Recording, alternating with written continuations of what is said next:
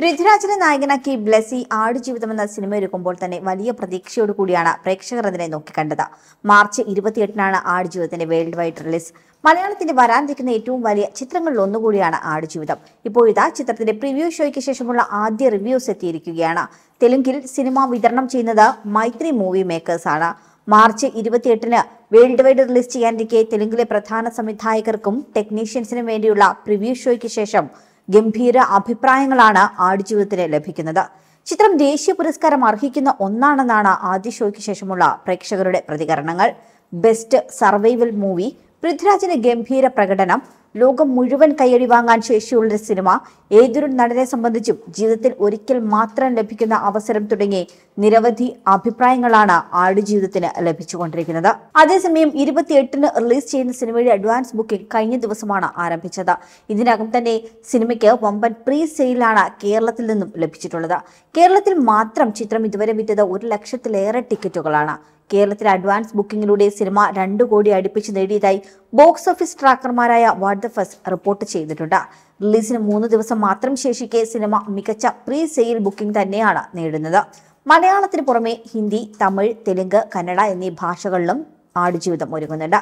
ചിത്രം ബുക്കിംഗിൽ record break ചെയ്യുമെന്ന് തന്നെയാണ് ട്രേഡ് അനലിസ്റ്റുകളുടെ വിലയിരുത്തൽ.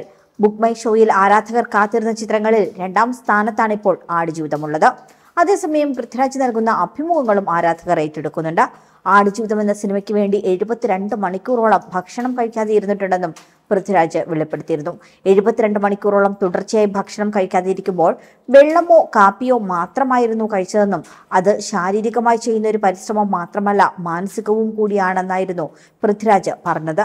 രണ്ടോ മൂന്നോ ദിവസം ഭക്ഷണം കഴിക്കാതെ ഇരിക്കാൻ മനുഷ്യന് സാധിക്കുമെന്നും എന്നാൽ രണ്ടാമത്തെ ദിവസം നിങ്ങൾ എഴുന്നേൽക്കുമ്പോൾ തന്നെ നിങ്ങളുടെ മനസ്സ് പറയുന്നത് മുഴുവൻ ഭക്ഷണം കഴിക്കൂ എന്നായിരിക്കുമെന്നും പൃഥ്വിരാജ് പറഞ്ഞു.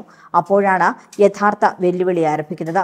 തനിക്ക് കഴിയുന്നത്ര ഭാരം കുറയ്ക്കുക എന്നതായിരുന്നു ലക്ഷ്യം. പക്ഷേ മുപ്പത്തിയൊന്ന് കിലോയോളം ഭാരം കുറച്ച് താൻ തന്നെ തന്നെ ഞെട്ടിച്ചുവെന്നും പൃഥ്വിരാജ് അഭിമുഖത്തിൽ പറയുന്നുണ്ട്. വിഷ്വൽ റൊമാൻസിന്റെ ബാനറിലാണ് ആടുജീവിതം ഒരുങ്ങുന്നത്. എ ആർ റഹ്മാൻ സംഗീത സംവിധാനം നിർവഹിക്കുന്ന ചിത്രത്തിനു വേണ്ടി റസൂൽ പൂക്കുട്ടിയാണ് ശബ്ദമിശ്രണം ചെയ്യുന്നത്. കെ എസ് സുനിലാണ് ചിത്രത്തിലെ ഛായാഗ്രാഹകൻ. ശ്രീകർ പ്രസാദാണ് ചിത്രത്തിന്റെ editing നിർവഹിച്ചിട്ടുള്ളത്. Jimmy Jean Louis Rik Aby Amala Paul K R Gokul Talib Al Balushi എന്നിവരാണ് ചിത്രത്തിലെ മറ്റ് പ്രധാന താരങ്ങൾ.